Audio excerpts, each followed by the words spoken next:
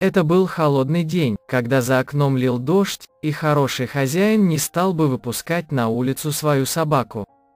К сожалению, славному псу по имени Джоуи достался плохой хозяин, который не просто вывел его из дома в дождливый день, но и бросил у забора, крепко привязав веревкой.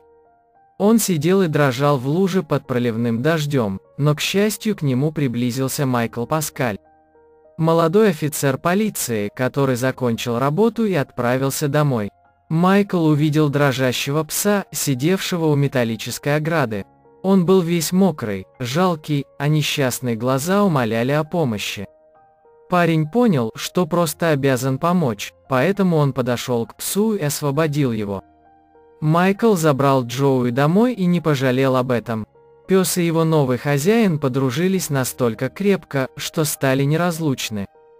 Теперь молодой человек нередко берет его с собой, и пес не отходит от него ни на шаг. Джоуи платит за любовь безграничной преданностью, и разрушить эту крепкую эмоциональную связь просто невозможно. Благодарю за просмотр. Подписывайтесь на канал, ставьте лайк, пишите комментарии и нажимайте на колокольчик, чтобы не пропустить интересную историю.